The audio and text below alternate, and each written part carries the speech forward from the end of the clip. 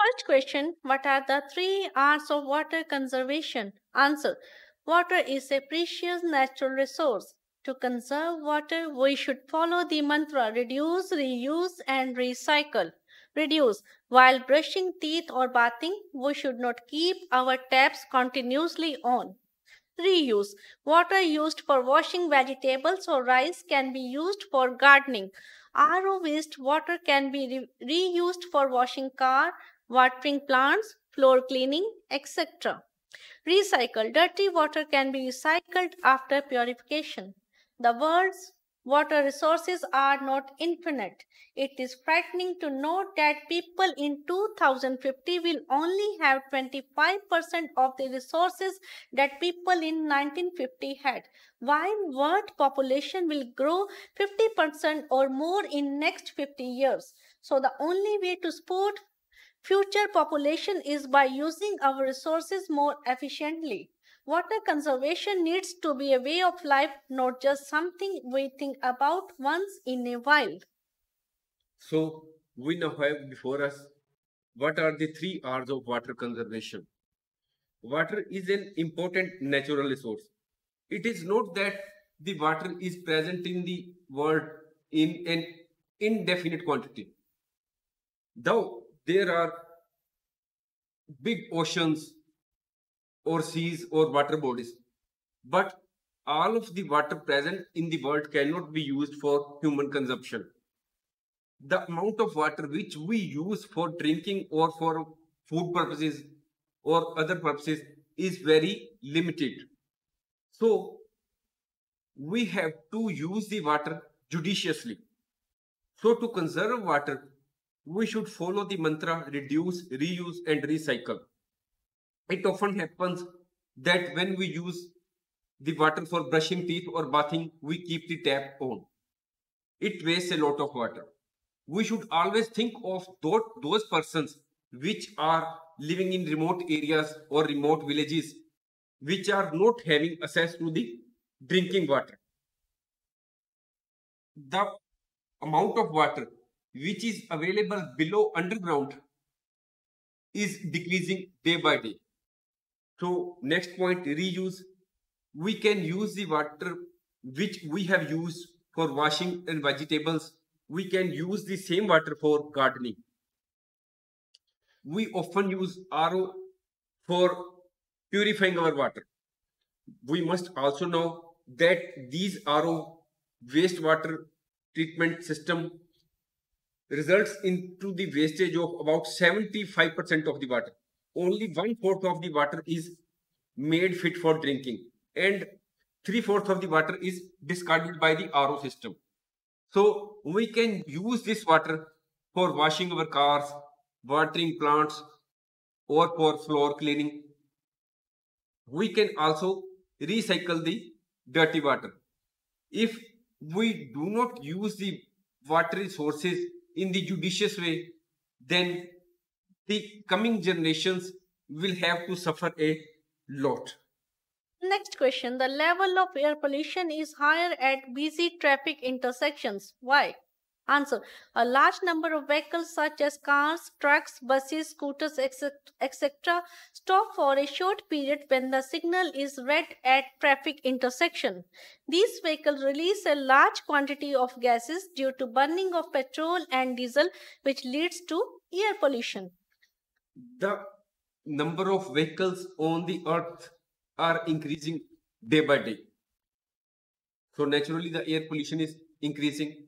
But at busy traffic intersections where we have to stop when there is red light, so the number of vehicles which stop there and they emit lot of smoke and it ultimately increases the level of air pollution at the busy traffic intersections.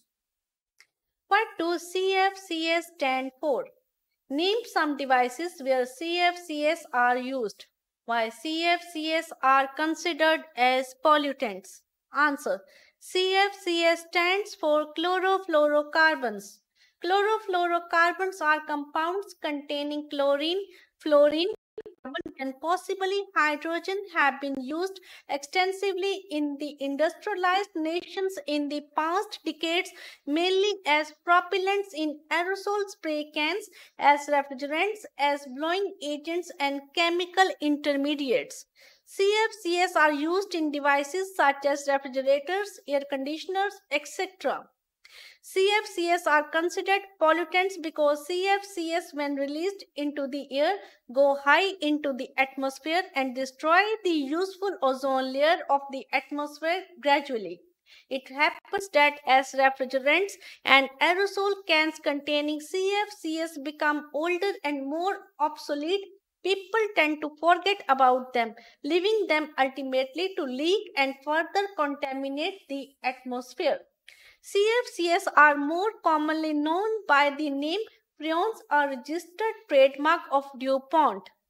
They are clear, colorless liquids or gases. At high concentrations, they can cause a number of adverse effects such as central nervous system depression, cough, difficult breathing, confusion, etc.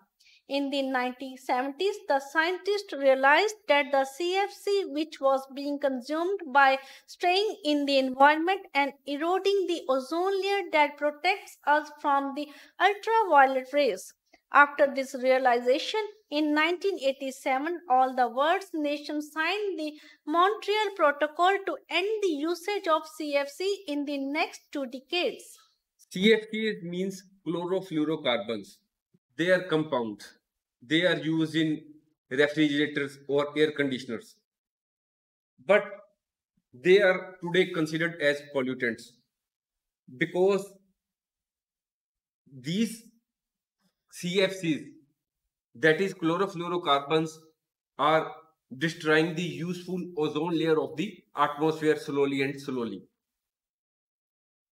In the 70s, when the scientists realized that the CFC is causing erosion of ozone layer. So after realizing this fact, an international treaty named Montreal Protocol was signed so that there was so that there is the end of use of chlorofluorocarbons in future. So now CFCS has been banned. Next question. A gas X is present in the stratosphere that prevents ultraviolet radiation of the sun from reaching the earth. Name the gas. So answer is name of the gas is ozone. Question number 5. Combustion of fossil fuels generates a lot of air pollution. Name two alternative sources of energy which do not cause any pollution. Answer. Solar energy and wind energy are two alternative sources of energy which do not cause any pollution. Question number 6. Burning dry leaves causes air pollution. What should be done to dispose of the dry leaves? Answer. When we burn dry leaves, many harmful gases are released into the atmosphere. The right way to dispose of the dry leaves is to convert them into compost. Next, Hot water can also be a pollutant. Explain how. Answer. Hot water is usually released by power plants and many industries into the water body or rivers. It raises the temperature of the water body which adversely affects the animals and plants living in it. Question number 8. Name any two sources which cause air pollution due to suspended particulate matter. Answer two sources which cause air pollution due to SPM RS under number 1 automobiles which burn diesel and petrol produce SPM number 2 industrial activities like manufacturing of steel and mining also produce SPM SPM are microscopic particles of solid or liquid matter suspended in air. They adversely affect human health in many ways including direct inhalation Thanks for watching. If you like our course, please spare some time to give a star rating to our course.